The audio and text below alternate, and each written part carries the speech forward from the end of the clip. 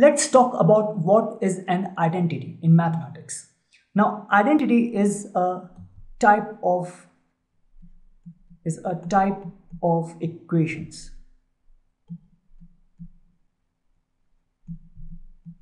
Equations can broadly be categorized in two types.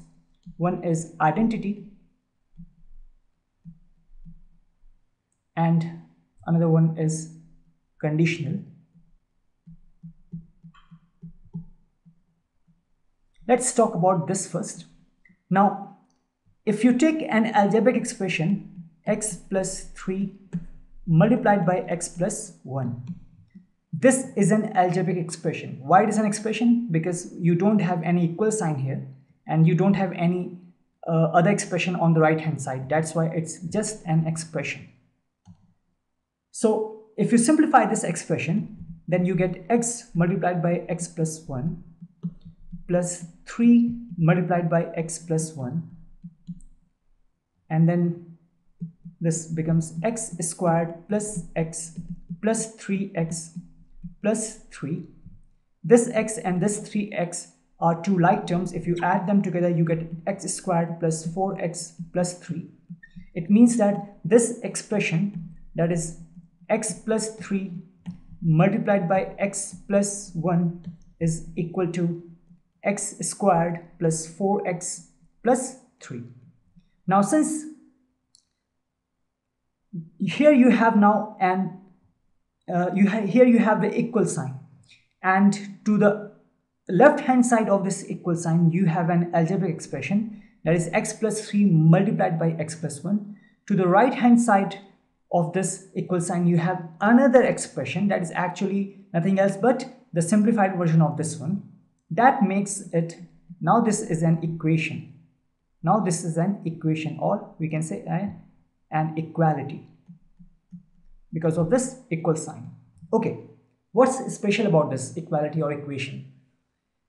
This equation is true for all the values of x for every value of x. There is no exception whatsoever when this equation is not true for a given value of x. It is true for every value of x. So if you put 1 here, let's say that you put 1 here, you get 1 plus 3 is 4 multiplied by 2, you get 8. You put 1 here, you get 1 plus 4 plus 3 equal to 8. You put 5 here, you get 8 multiplied by 6, that is 48 here 5 squared is 25 plus 5 is 20 and plus 3 gives you 48 you can check for other values of x. So the point is that doesn't matter what value you take uh, what value you put for x here at the place of x it is true for each and every value of x. This equation that is LHS is equal to RHS for every value of x so the next question should come that is there any a condition or situation when the uh, uh, this equation is not true? Yes, that is when this conditional equations, you know, we talk about conditional equations and let's take some examples. This is an equation, right? 10x plus 3 is equal to 33. Why it's an equation? You have an equal sign and to the right left hand side of this equal sign you have an expression and to the right hand side of this equal sign you have another expression. Similarly for these two as well. Now this particular equation is only true for x is equal to 3 is only and only true for x is equal to 3 you cannot put any other value at this place so that this equation you know uh, holds true. So like if you put 4 here you'll get 40 plus 3 that is 43 43 is not equal to 33 if you put 3 here, you get 10 plus 10 times 3 is 30 plus 3, that is 33. So 33 is equal to 33, right? Same if you put 1 here, you get 10 plus 3, that is 13. 13 is not equal to 33.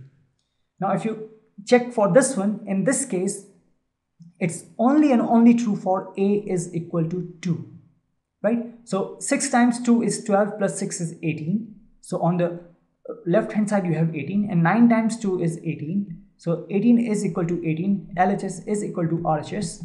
but only and only for a is equal to 2 that is why we say that these are conditional equations these are not identity.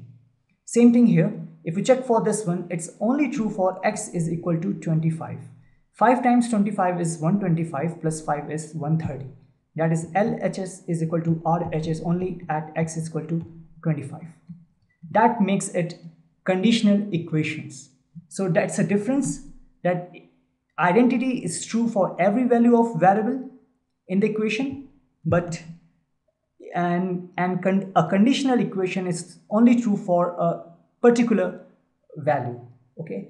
So that's the basic difference between identity and uh, conditional equations